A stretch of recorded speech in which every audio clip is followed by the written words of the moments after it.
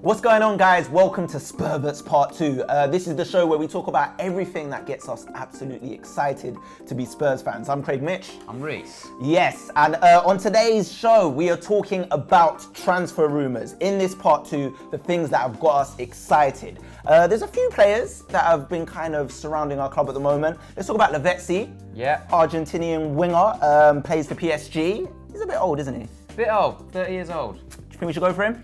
I'm just excited to finally have some rumours going on because we have had nothing since Poch has Yeah. come. I'm pretty happy. Yeah. Lavezzi is a good player, Argentinian, 30, but uh, Poch, cheap. Lamela. If they want to spend 7 million on him, that's get two years out of that. Yeah, we could have a little bromance going on there. You Yeah. know, they could go out for pizza and just you know share stories after games Exactly. and build a little What's relationship. Argentinian food?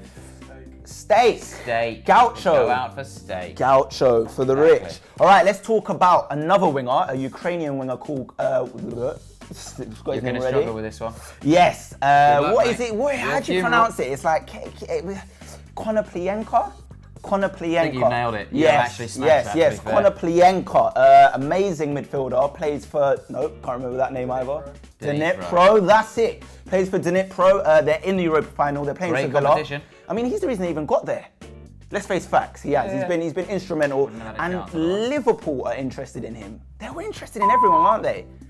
Were they trying to replace a bit of Raheem Sterling? Do you reckon? Maybe. Yeah, early replacement for Raheem, who's also coming to us. Oh, well, well uh, I mean, I don't know why he'd want to go Liverpool, you know, a deprived area on benefits, when he could come to, you know, Tottenham. Gentrification, brand new stadium in the coming years. Yeah, somewhere that we set on fire sometimes. Yeah, Good, just lovely, yeah. lovely and warm. Toasty, old Tottenham. Lovely place. Look, I think Why would you- you go to the culture capital of Europe, Liverpool, when you could come to Tottenham? Yeah, leave the Jeremy Chicken. over there and come over to Jerk Central. All right, and we got another player, Bartra. Uh, we're trying to Yeah. barter for Bartra, a defender from Barcelona. Apparently, uh, we made a bid for him before they renewed his contract, and now he has a 10 million release clause. He doesn't play really, so let's just come over here.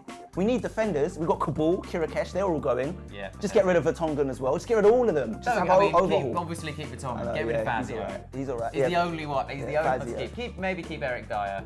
But yeah, we need def- we need defenders, and we need to stop signing shit defenders. So We I do. don't know much about this Bartra guy, but if he plays for Barcelona, I'm feeling good. So there you have it. A few transfer rumours going on. You've got Lavezzi, uh, Konoplyanka, and Bartra. Um, are we going to get them? Who knows? All we know is we need to get rid of the crap we currently have. Anyway, guys, this has been Spurverts. I've been Craig Mitch. This has been Rhys James. Make sure you subscribe, leave a comment, and let us know your thoughts on what players you want. Bit of Benteke as well. We could do with that. Bit of Schneiderlin. I don't know. Let us know in the comments below. And this has been Spurverts. Spurverts. This is where we talk about all the things that have got us excited to be Spurs fans this week. This week, I'm pretty excited, Craig, about the fact that Spurs are taking over the England under 21.